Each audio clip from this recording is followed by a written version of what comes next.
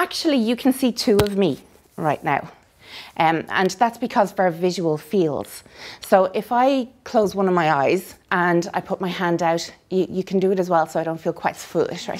so I put one of my hands out, I, I can see it in my peripheral vision. And if I follow it around, I can see it all the way around until there. So this is my peripheral field for my right eye. And likewise for my left eye, it's going to be about the same. So I actually have this region in the middle. That's my binocular field. And you can see two of me because you're actually looking right at me. And I can prove that to you because if you just flick between one eye to the other, actually looks like I'm dancing, I'm moving forward and back. So it is actually that imagery that's carried by the two eyes goes to your brain. Your brain uses that then to impose depth. Um, this is an eye, it's actually my daughter's eye. You can see that my photography isn't great, the colour is all wrong. Uh, but um, she actually has blue eyes, kind of look grey there. Um, she does have blue eyes, and the colour of the iris has no real physiological function in terms of our capacity to see. Obviously, there's aesthetic things to do with it, but uh, it's really a muscle that enables, um, it, it adapts the amount of light that can actually enter the eye. But in terms of colour, actually there's really only one pigment that uh, codes for eye colour and it's brown. It's uh, a pigment called melanin. And people who have a lot of melanin, um, their eyes appear brown. And those who have blue eyes have no melanin. And the light actually is, is reflected off the iris. Same as the sky looks blue. It's the exact same thing. Right?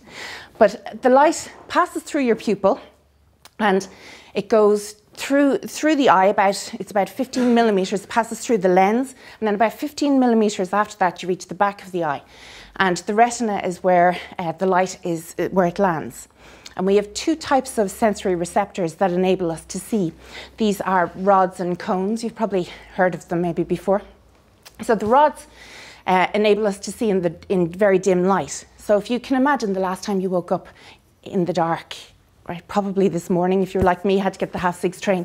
But you, you can't see anything probably if the room is really dark for a little while. And then after a time, you begin to be able to make out, you know, rough edges. And really that's as much as you can see with your rods. You can see a rough outline, you can see in grayscale, and also it takes a little while. They're not the quickest cells to activate. Whereas cones, just close your eyes and open them again, they're your cones. It's, they're, they're the cells that respond to high levels of light. So we can see in colour, we can see really with really high acuity, right? Um, so the, the, the cones allow us to see its high acuity, but they're actually concentrated in a particular part of our retina, which is called the macula. And at the centre of it is the fovea centralis. And uh, this is where they're found in the, the, majority of them are. We've about three million of them in each of our eyes. And uh, that's what we try to get our lens to focus on, right? And in fact, we do such a good job that we actually overdo it. So the light is over inverted. So on your retinas right now is a tiny little upside down version of me. and that's what actually gets carried to the brain the brain sees everything upside down. And it's only after a period of time that if you were one month old babies, you would literally be seeing me like that. Right? They see things upside down.